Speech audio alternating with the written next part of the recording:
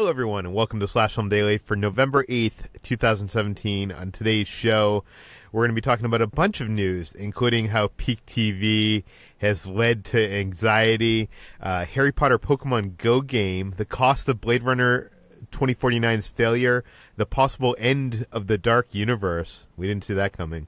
Suicide Squad 2 rumors, a reaction to the new Steven Spielberg trailer, and Steven Soderbergh's interactive movie project. This is Peter Sciretta, and joining me on today's podcast is Slash Film senior writer Ben Pearson. Hey, what's up? And Chris Evangelista. Hello. Okay, guys, we got a lot of news to talk about, and there's actually some interesting stuff, even though it's been kind of slow news days. Um, but let's start this off with uh, the, let's get the comic book movie news out of the way. Uh, Suicide Squad might introduce Dwayne Johnson's Black Adam. Chris, what do we know about this?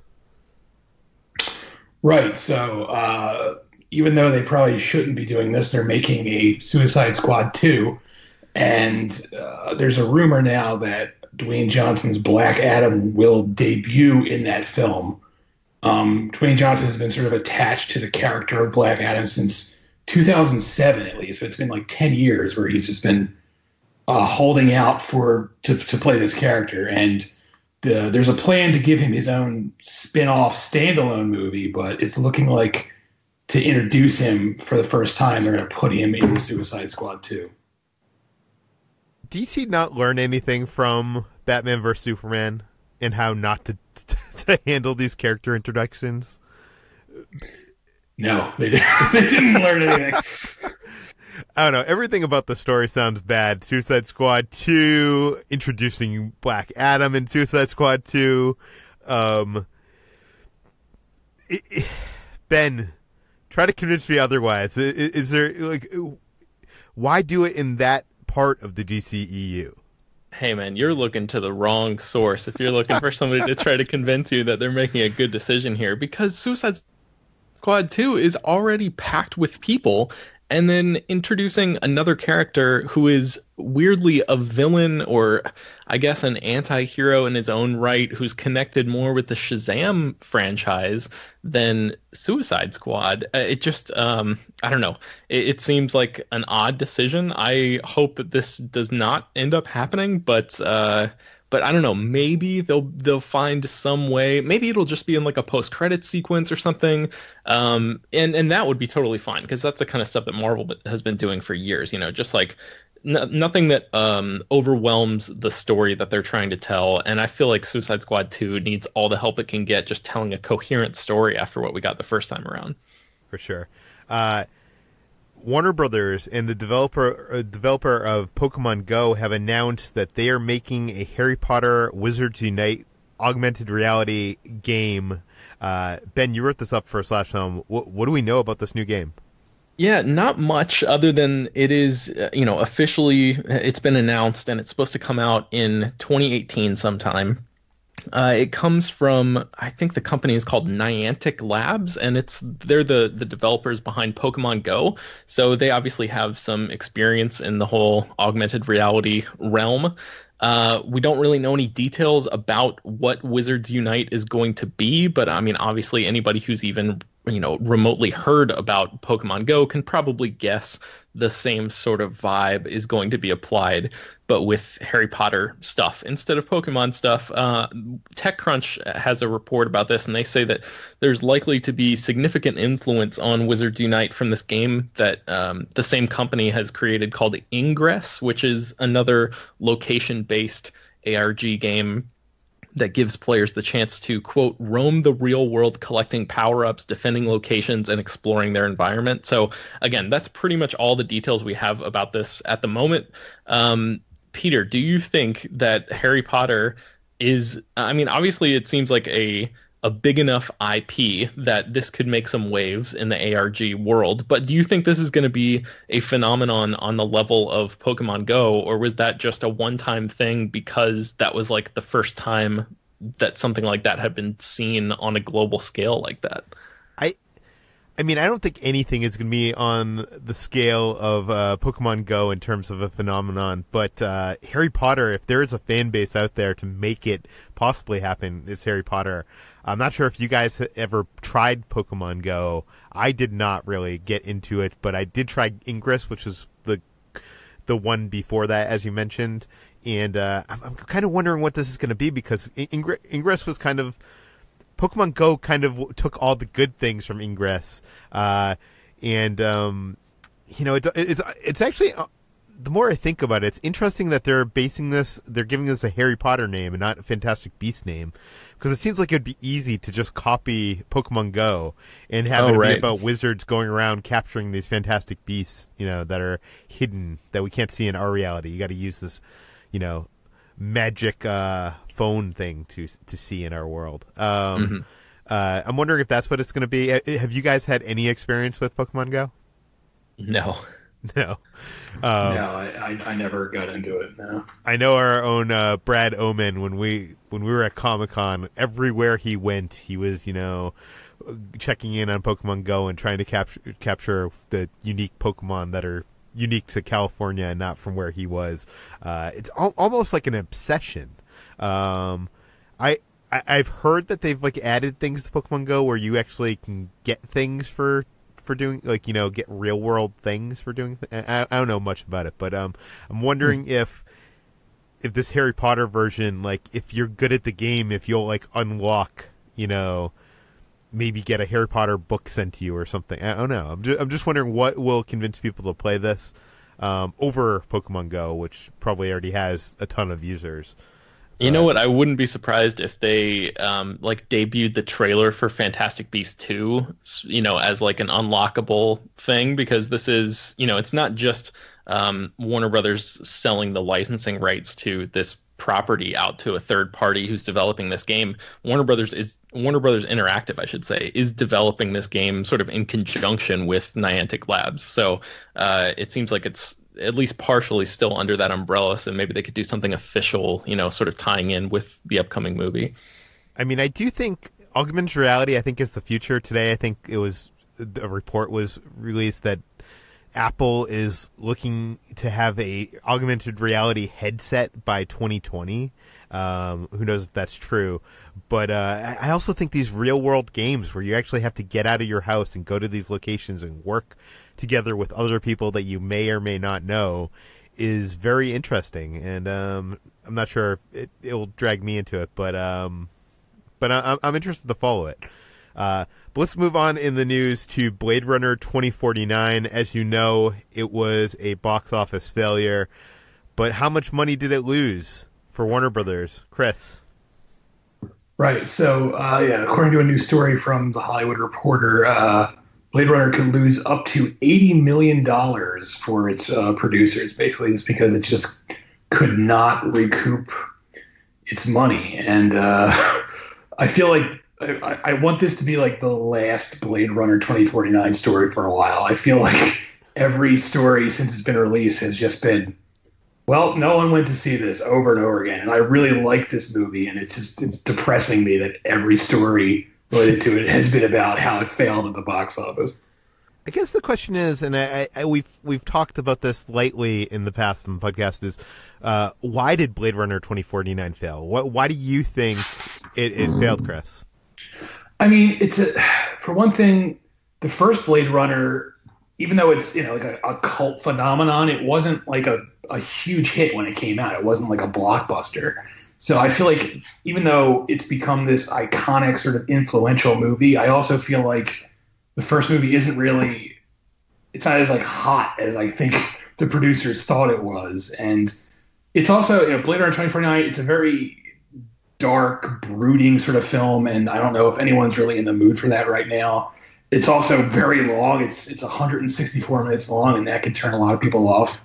I mean, I love the movie, but even I yeah. was like, all right, this is a bit long. So, and I think all those things just combine to just sort of sink it at the box office. Ben, do you have any theories on why Blade Runner 2049 did not hit with the audiences? No, I think Chris covered it pretty well. I think the length probably had a lot to do with it. Um, and yeah, I, I, the, it's not an easy movie to just like pop in and check out. You know, you sort of have to. It makes you think, and it, it really is sort of a ponderous uh, experience, and it's not it's not interested in giving you you know tons of action scenes and whatever. It, it's very you know it's much more of a cerebral kind of thing. So, yeah. and you know, it's I, like uh, in line with the first one in that regard. And, and I imagine many millennials have tried to watch the original Blade Runner and have you know either checked out, you know, uh, gone on their phones, got bored, you know, what? Not not to to. Uh, disparage an entire generation. yes, which I which I guess I am doing. But I, am I'm, I'm using the word millennial because uh, you know the millennial generation was after Blade Runner came out, um, and I think people that like uh, went, were you know in their teenagers or older when Blade Runner came out and they saw it in the theater, it was kind of this big, huge thing to them, and it kind of was very influential in the movies that uh, came after it in sci-fi. And I feel like young people today going back to watch Blade Runner, it kind of because it's been copied so much, it doesn't seem as original. Does that make sense? Because it's mm-hmm. it's been uh, copied to death by all these things, and it, it is kind of like a movie from a different time with a different pace. And uh, I'm wondering if you know people tried to get excited for this movie and rewatch the original and decide, you know, maybe this franchise isn't for me. Um, yeah. A lot of people have also pointed towards the marketing, which revealed almost nothing. It was kind of like just a visual and tonal feast um, mm-hmm. as a as a reason um, do, do, either of you think that, that that could be why people didn't go that that they didn't show enough? Yeah, I, I could see that. the The marketing was very vague. Um, they were very uh, tight-lipped about spoilers, and you know, while I appreciate that on one level, I also realize that the average moviegoer wants a bit more than just like a bunch of images in a trailer. They want to know what they're going to see, and the trailers really didn't do a good job of selling that. Yeah, I loved the marketing campaign, but I think it was designed more for me than it was for mainstream audiences. It, it, it is weird because the marketing campaign kind of, I mean, it did. It totally ran with Harrison Ford and revealing he's in the movie, and you had to do that. You know, he's you have to put his name on the poster, you have to put him at the junket and stuff. Um, but I feel like that was so much of a late movie reveal if you you know, mm-hmm. if you hadn't seen the marketing, whereas I think the trailers didn't really reveal much until like what Kay's case, what what what the main story was, what the inciting incident of the movie is, and I feel like um maybe they should have uh, included some some information of what this movie is. But mm. um yeah. But let's move on. Uh, a new tra- speaking of marketing, a new trailer has come out for Steven Spielberg's film The Post. Uh, we Ben, you wrote an article about this, and uh, we have all seen this trailer, so we're going to give our reactions to this trailer right now. So if you haven't seen it, you can stop and watch it on slashfilm.com. Um, I guess uh, first, uh, you know, I'll say, you know, obviously, anytime a Steven Spielberg movie comes around, I think it's fair to say that all three of us are going to be in a theater to see it, uh, opening weekend or before opening weekend at a press screening. Um, you know, it's always an exciting time to to see a movie, even if it's you know one of his. Uh, I'm I'm not sure if this is going to be one of his better films. It doesn't. Uh, I don't know. It, it looks more of.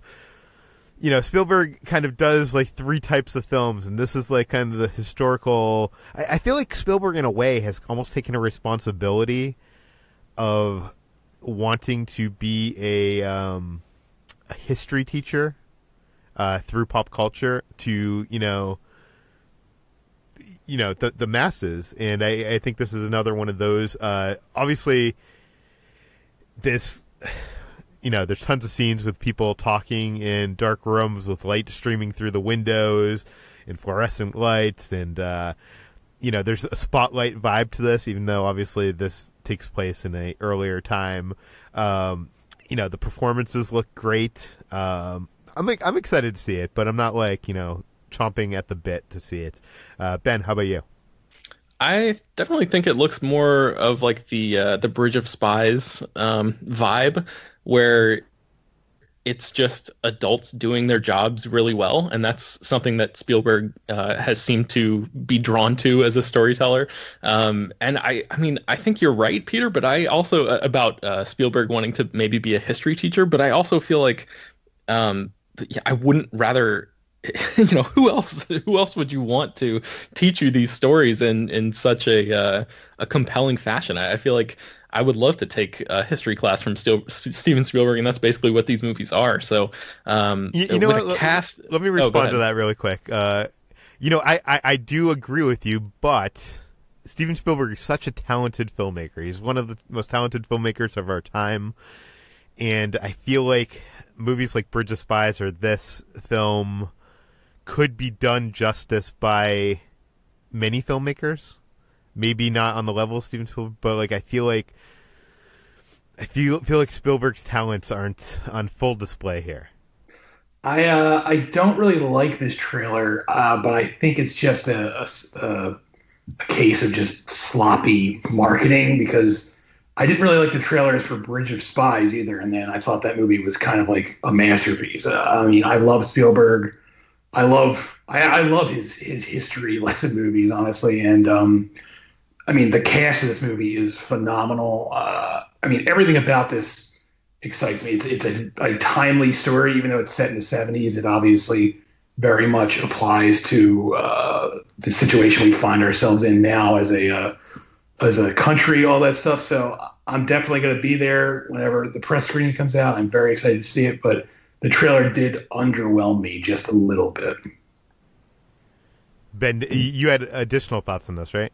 Well, I was just going to say that I think uh, I think to your point about maybe somebody else could have directed a movie like this or like Bridge of Spies. I feel like that's what makes Spielberg such a fascinating director. Is like, of course, he has the um, the ability to go off and make huge, colossal movies that nobody else could possibly you know approach but at the same time he slots in little films like this where he got this together so fast. They started shooting this uh, in may. He attached himself to it in march of this year and it's going to be out in December. So this is like an, an, incredibly quick production with, as Chris mentioned, a cast of like the highest caliber. And I love that Spielberg is, you know, he, he's a guy who's always looking, he's always um, curious, and he finds something that interests him, and he thinks, oh, this is a story that needs to be told right now, and he actually makes it happen right now for, you know, before. Um, the cultural moment that he's trying to comment on can pass, he already has a movie out where it you know captures the the zeitgeist perfectly. So uh, I I sort of love that about him. No, I do. I do think that's the smartest thing about this movie is you know it is such a movie uh, uh, commenting on the time that we are in now. Um, I'm excited to see it. It's just uh, I wish he was doing more films kind of like on the intersection of spectacle and smart.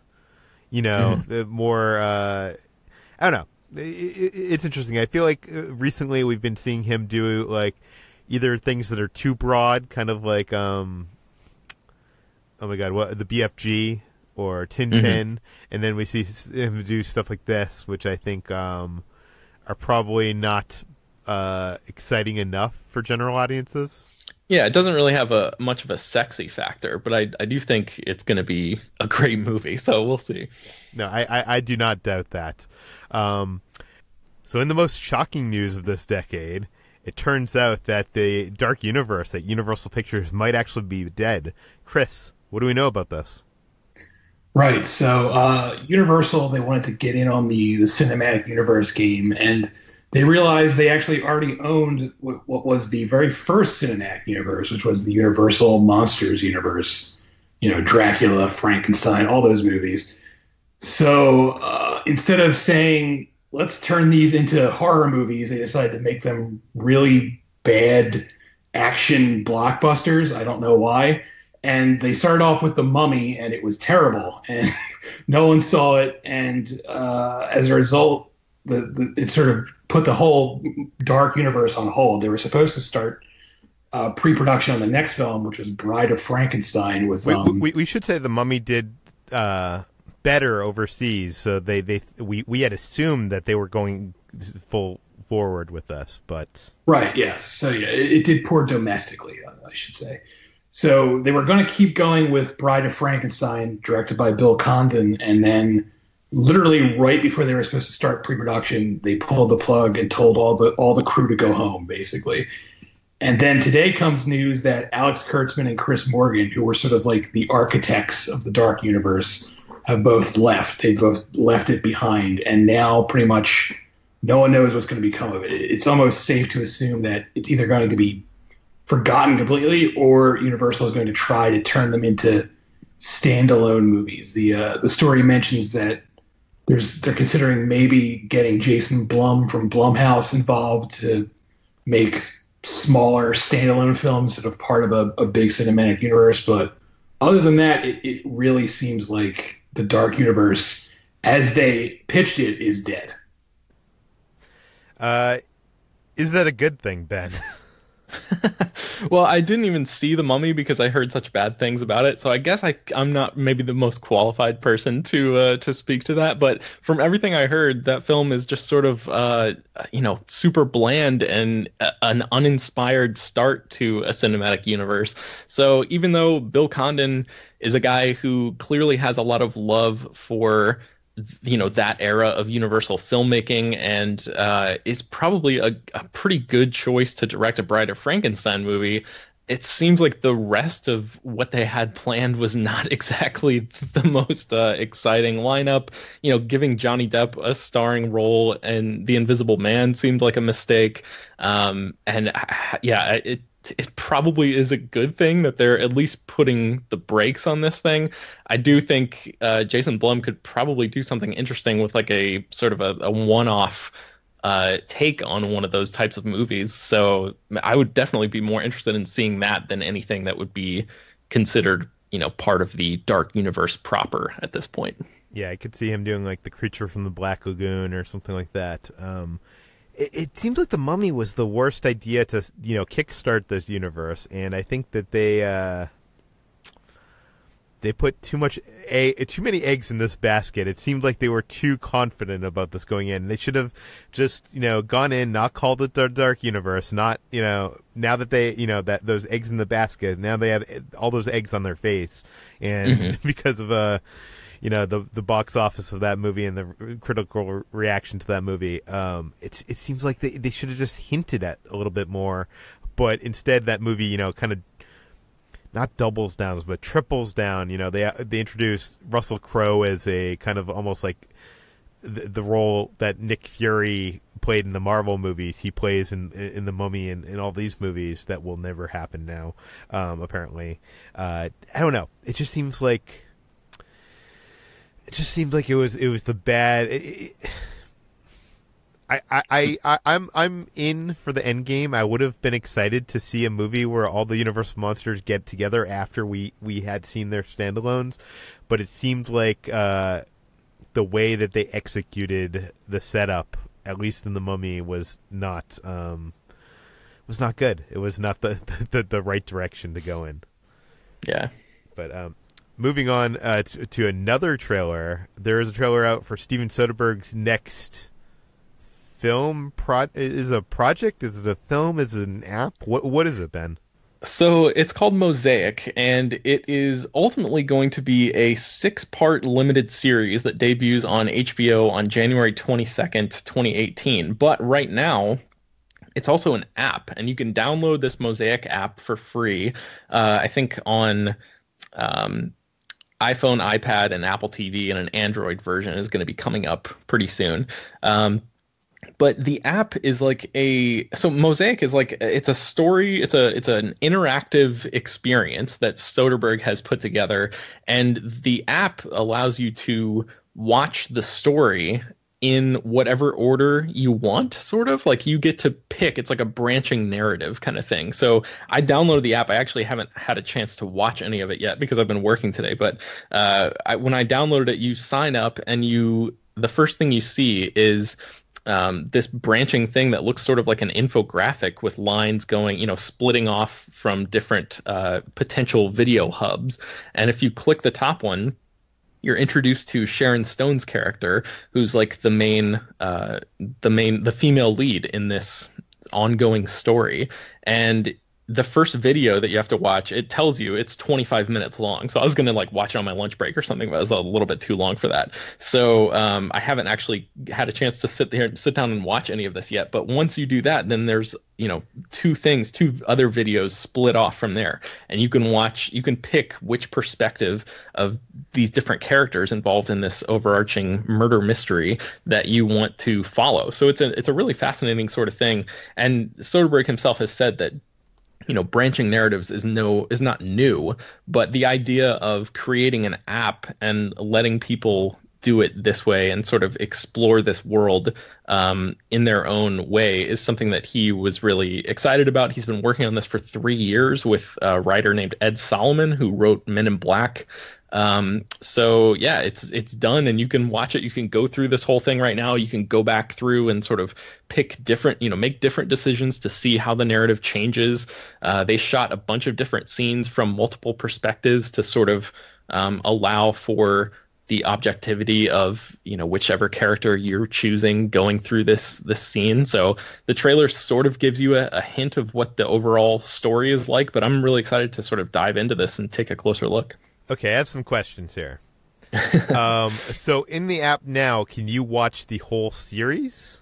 It seems like you can, and because um, because the only one that you have uh, available to it basically all of the videos are locked until you do them until you get introduced to the characters so they force you to watch the one about Sharon Stone's character ah. first because she's the main character. So I was wondering, you know, because it says that video is 25 minutes long. So I was clicking on some of the later ones to see if they were an hour long or 25 minutes. So I can, you know, add everything up and see if it comes out to a six hour uh, experience like the the limited series will presumably be. But all of those things are locked until I watch the introductions of the, the main characters.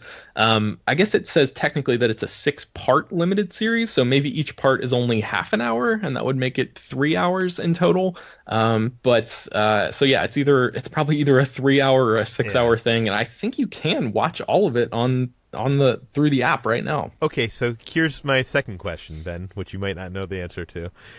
When this six part series premieres on HBO, is there any perspective change there? Are you like, is one episode perspective of one person this whole story? Like, do you know how that's going to um, be presented?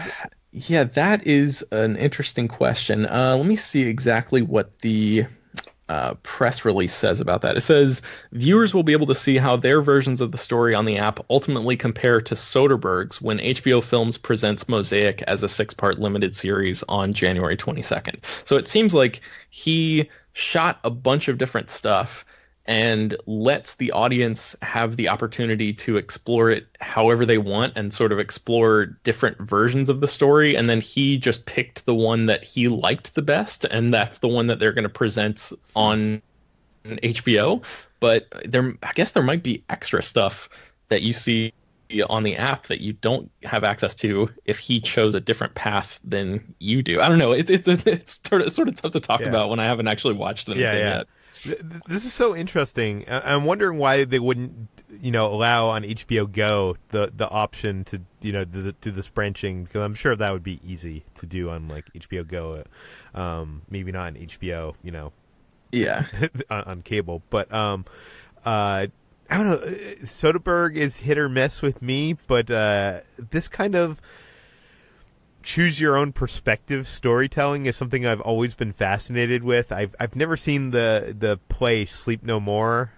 Uh, I think it was in New York City, but it took place in I think an apartment building, and the people, uh, they were the spectators watching this play could go room to room and follow the characters that they want to follow and see just you know just a slice of the story that they want to see.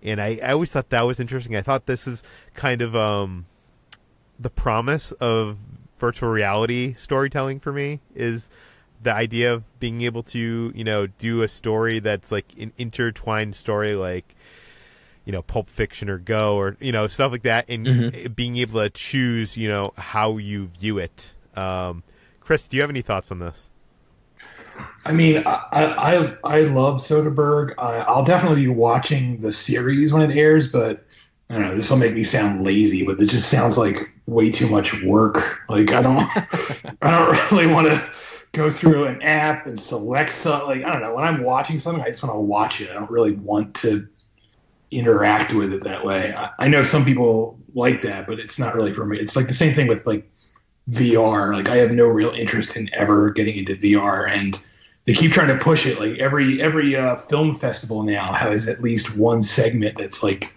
devoted to VR movies, and I just have no. A VR movie just won uh, Academy Award or something, right? A, uh, right. It was, honorary.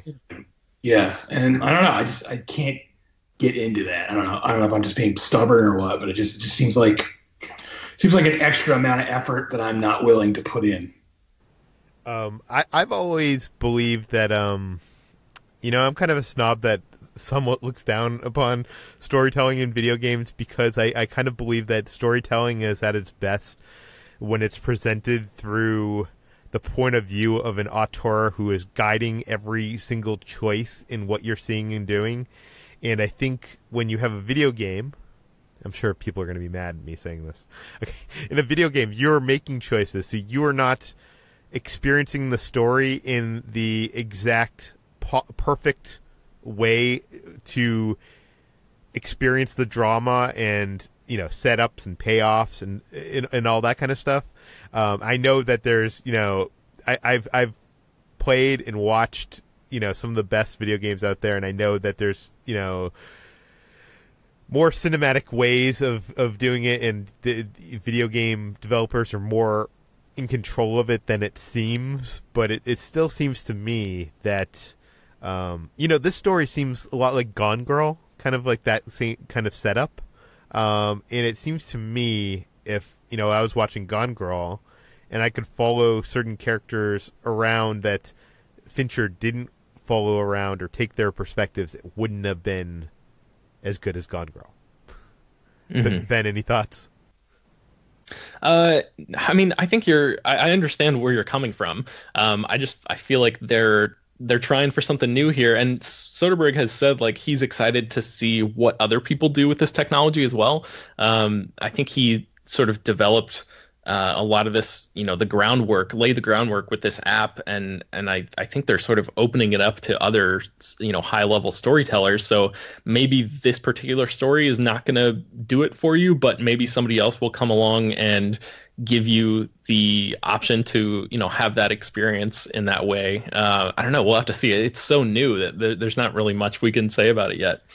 And also another thing that bothers me about video games which would bother me with this uh, project is they in the end presumably you'd be experiencing something that's very different than you know other people are experiencing and you'd probably be not see some scenes and sections of the story, and I feel like as a ADD person like me, I want to see it all. Mm-hmm. I want to experience it all, and uh, I, I, feel like that would uh, bother me. But speaking of uh, ADD and anxiety, uh, peak television is apparently giving people more anxiety than ever before. Chris, you wrote this up about this new study. What do we know? Right. So I, I won't quote percentages because you know, I don't, I don't that just sounds dull, but you could go read this on slashfilm.com where the story is. But the Hub Entertainment Research Group basically did a study of, of just TV viewers. And the, the results stated that because there's just so much TV now, there's just so many TV shows that it's literally giving viewers anxiety because they don't know what they should pick. And it's sort of like they they feel anxious that they can't watch everything, so they they'd rather just watch nothing. It's sort of getting to that point. And there was even a result that said because there's so many TV shows now, people are a lot less likely to start new TV shows unless they're 100% sure they actually know they're going to like it basically. So they're, they're even they're they're willing to try less new things because there's just so much of it. Ben, you have some thoughts on peak television. well, yeah, that's I was going to say that sounds pretty familiar because that sort of describes the way that I go about watching TV right now because it, there is like so much good stuff out there that you're always hearing about and you there's only only so many hours in the day and you know only so many shows that you can watch at any given time. So I tend to I'm not really anxious about peak TV, but I definitely am, am more picky as a viewer because of it. Um, I'll typically wait until uh, you know, I hear really good things about at least the first, I don't know, five or six episodes of a show or something instead of just diving in. And, you know, there are rare occasions where I'll just dive in. Like I watched Westworld as it was airing. Um, but, uh, but for the most part, because there's just so much stuff out there, I feel like I'm, I'm sort of uh, one of these people that Chris seems to be talking about.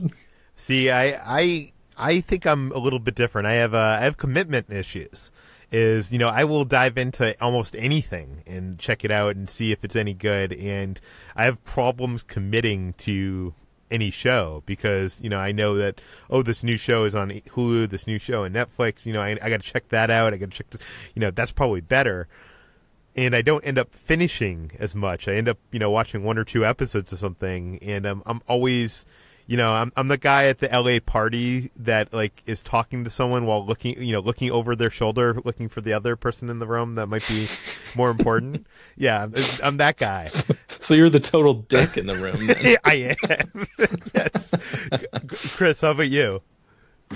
Yeah, uh, unless I'm like reviewing a show, I very rarely will start something new unless I've heard really good things about it, or even or even like after it ended, like The Good Place is a show I didn't watch that first season at all. It's because I know I, I'm I'm so hesitant to start new things, but everyone kept telling me, "Oh, this is really good." So when it showed up on Netflix, my wife and I went ahead and like binged through the whole season, and it was really good. But uh, it's very hard to make that commitment. It's it's it's it's a lot of effort. I mean, you know, effort is in quotes because you're really just sitting watching something, but it does take a lot of effort to just commit to a new show when there's so many things.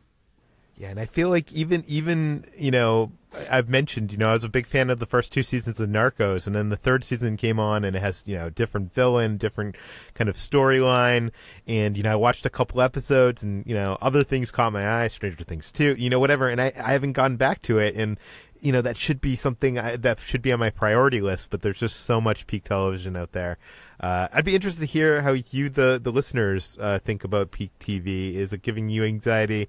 Uh, is it giving you commitment issues? Uh, does it make you watch less or more? Um, I'd be interested to hear that. You can send it to peter at slashfilm.com and you can send all your questions for the mailbag, peter at slashfilm.com. Chris, where can we find more of your work online?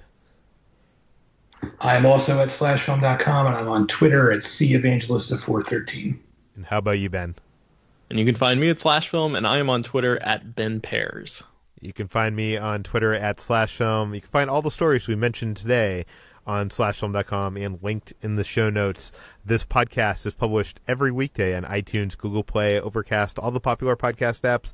Uh, please go to iTunes, give us a rating, give us a review. That helps us out quite a bit, and we will see you tomorrow.